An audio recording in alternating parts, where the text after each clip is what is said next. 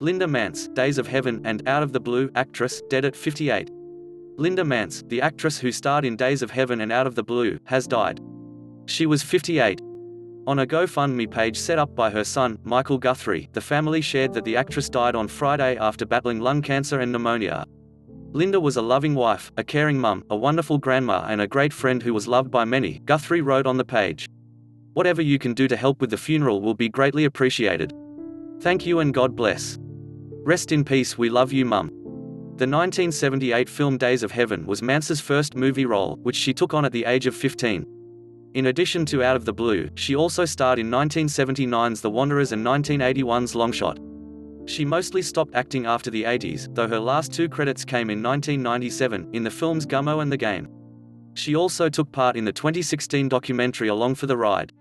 Jean-Louis Urli, Gamma-Rapho via Getty Images Manz did eventually open up about why she spent time away from Hollywood back.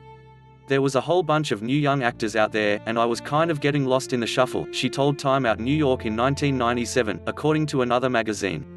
So I laid back and had three kids. Now I enjoy just staying home and cooking soup. The actress wed camera operator Bobby Guthrie in 1985. They had three sons together, Michael, Christopher and William. May her soul rest in peace.